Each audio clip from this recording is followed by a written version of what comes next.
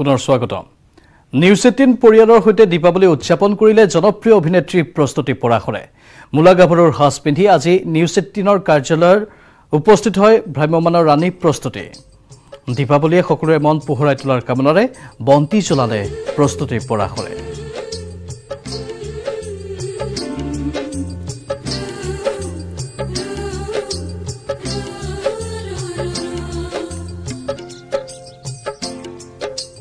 এয়া মূলা গাভৰুৰ সাজ পিন্ধি প্ৰস্তুতি পৰাশৰ।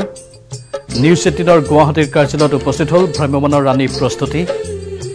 দীপাৱলীয়ে সকলোৰে মন পোহৰাই তোলাৰ কামনাৰে বন্তি জ্বলালে প্ৰস্তুতি পৰাশৰে। এই সন্দৰ্ভত এক ৰিপৰ্ট যুগুতাইছে আমাৰ সাংবাদিক চক্ৰপাণী পৰাশৰে। নমস্কাৰ। স্বাগতম জনাইছোঁ মই চক্ৰপাণী পৰাশৰ আৰু আজি দেওবাৰ। আৰু দেওবাৰ বুলি ক'লেই মোৰ বিশেষ অনুষ্ঠান এখন টেক। তাতে আজি আকৌ দীপাৱলী। আৰু দীপাৱলী বুলি ক'লে এটা বেলেগ ধৰণৰ পৰিৱেশ। আমাৰ অফিচতো আমি খুব ধুনীয়াকৈ সজাইছোঁ আমাৰ অফিচটো। আৰু সকলোকে দীপাৱলীৰ শুভেচ্ছা জ্ঞাপন কৰিছোঁ। আপোনালোকক জনাই মই সুখী হ'ম যে আজিৰ এই দীপাৱলীৰ অনুষ্ঠানলৈ মোৰ সৈতে সহযোগিতা আগবঢ়াবলৈ আহিছে আহ, মূলা গাভৰু। হয়তো বুজি পাইছে মূলা গাভৰু কোন মই বেছি বহলাই নাথাকোঁ। স্বাগতম জনাইছোঁ প্ৰস্তুতিৰ পৰা আৰু সম্পূৰ্ণ মূলা গাভৰুৰ সাজেৰে আমাৰ ষ্টুডিঅ'লৈ আহিছে। আমাৰ যথেষ্ট ভাল লাগিছে আজি আমি আনন্দিত।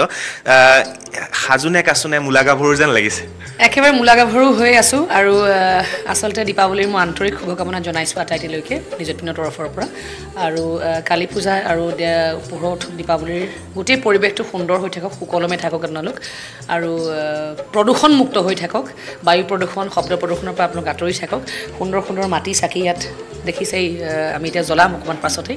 আৰু এনেধৰণে পোহৰেৰে আপোনালোকৰ প্ৰত্যেকৰে জীৱন পোহৰাই তোলক। আৰু তাৰে কামনা কৰিছোঁ। মূলা গাভৰ ৰূপত আহি নিজকে অলপ বেছি গৌৰৱ অনুভৱ হয় এইকাৰণে যেন মই মোৰ একান্ত বিশ্বাস যে অসমৰ প্ৰতিগৰাকী নাৰী প্ৰতিগৰাকী ছোৱালীৰ ভিতৰত মূলা গাভৰুৰ এগৰাকী জন্ম হওক। আমি বহুত কথা পাতিম। আজি বহুত সময়ো আছে আমাৰ।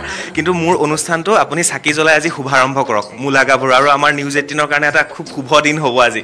আৰু প্ৰয়াসী আছে। প্ৰয়াসীও আহিছে। প্ৰস্তুতি পৰাশৰৰ ভগ্নী আৰু প্ৰস্তুতি পৰাশৰ লগতে প্ৰস্তুতি পৰাশৰৰ পৰিয়ালৰ সকলো সদস্য উপস্থিত হ'ল। নিউজ এইটিন অসম নৰ্থ ইষ্টৰ কাৰ্যালয়ত আৰু তেওঁলোকে দীপাৱলী সকলোকে শুভকামনা জনালে।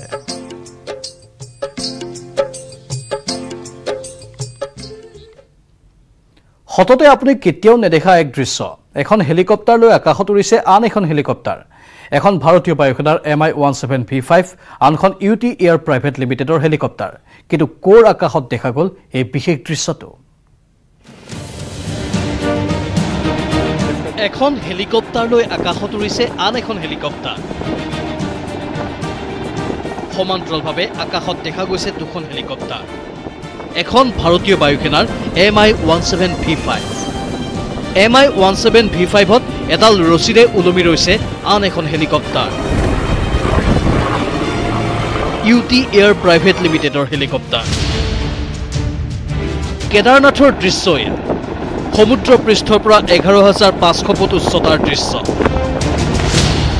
কেইদিনমান পূৰ্বে কেদাৰনাথৰ হেলিপেডত বিকল হৈ পৰিছিল হেলিকপ্টাৰখন। হেলিকপ্টাৰখন উদ্ধাৰৰ বাবে সহায় বিচাৰে ভাৰতীয় বায়ুসেনাই উদ্ধাৰ অভিযানত নামি পৰে ভাৰতীয় বায়ুসেনাৰ শক্তিশালী M I one seven V five helicopter. কেদাৰনাথৰ দুৰ্গম হেলিপেডৰ পৰা বায়ুসেনাৰ হেলিকপ্টাৰে উদ্ধাৰ কৰে হেলিকপ্টাৰখন আৰু তাৰ পিছত এনেদৰে ওলমাই কেদাৰনাথৰ পৰা যাত্ৰা কৰে ডেৰাডুনলৈ কেদাৰনাথৰ আকাশত সমান্তৰালভাৱে দুখন হেলিকপ্টাৰ উৰাৰ দৃশ্য বন্দী হৈ ৰয় ইণ্ডিয়ান এয়াৰ ফ'ৰ্চৰ কেমেৰাত। News desk news eighteen Assam north east